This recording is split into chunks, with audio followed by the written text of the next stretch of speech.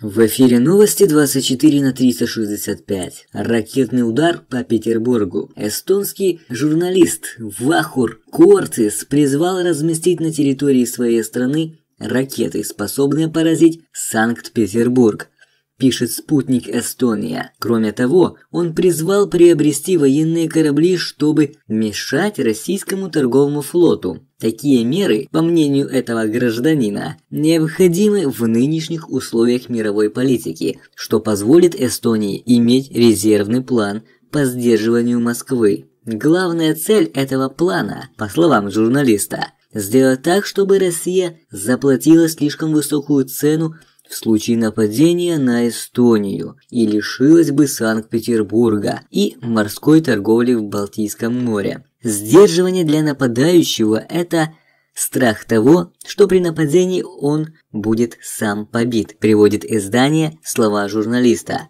Выбор Санкт-Петербурга как цели для ракет Картис объясняет расположением там стратегически важных целей, в том числе штаба Западного военного округа и военно-морского флота России. Такой удар, как считает журналист, окажет серьезное психологическое давление на Москву. Кроме того, как добавляет издание, Каортис предлагает захватывать и топить направляющиеся в российские порты торговые суда до момента, пока судовладельцы не откажутся от идеи торгового сообщения с Россией. Таким образом, по его мнению, Москва окажется под серьезным давлением и потеряет каналы для экспорта нефтепродуктов. Что же, ставим лайк, подписываемся на новости 24 на 365 и не забываем нажимать на колокольчик, чтобы ничего не пропустить.